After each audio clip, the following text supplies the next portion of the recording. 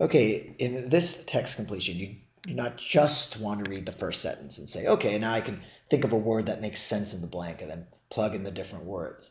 Really, many of these can make sense. So your job is to find the clue for the blank, whether that clue is in the actual sentence the blank, blank appears or if it comes later. So let's read the second sentence. It says, This was clear in her agonizing over how far to try to represent the minute details.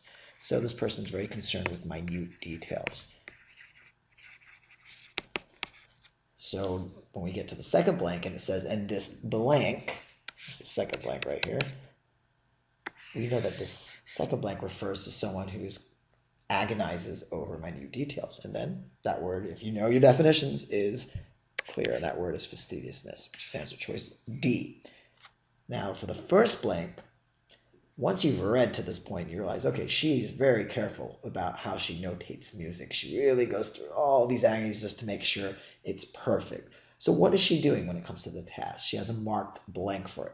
And now if you can't really think of your own word, but you can say she has a marked, well, she really respects the task. She has a lot of appreciation for it. It's something that she looks up to highly. If you think that far, then you can definitely match it up with reverence, which is answer choice A. We have a reverence for something you hold it up in high esteem.